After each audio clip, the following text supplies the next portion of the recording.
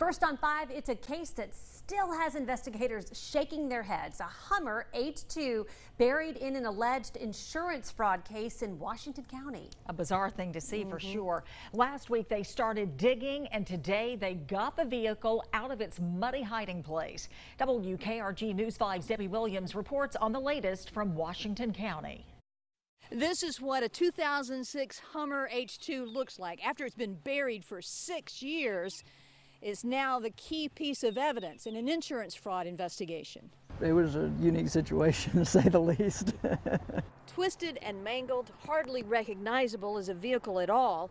Investigators finally able to start putting the final pieces of their insurance fraud investigation together now that the Hummer that was buried for six years sits in a county impound yard. a vehicle that was reported stolen, and then with some insurance fraud being related, and finding the vehicle buried underground. That's that's a first for me.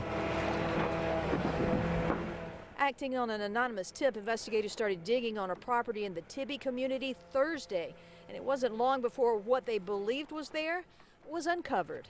It appeared the vehicle was, you know, four or five feet underground, and it was totally covered up, and it had been covered up since 2016. The owner of the vehicle at the time it went missing, according to the vehicle identification number, is Bruce Eugene Parnell.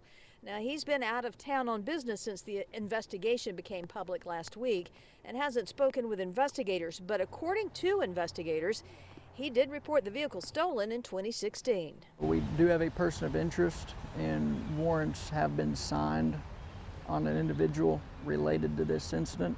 And this could be just the tip of the iceberg. The investigation is continued, and we're told more charges are likely. Reporting in Washington County, Debbie Williams, WKRG, News 5.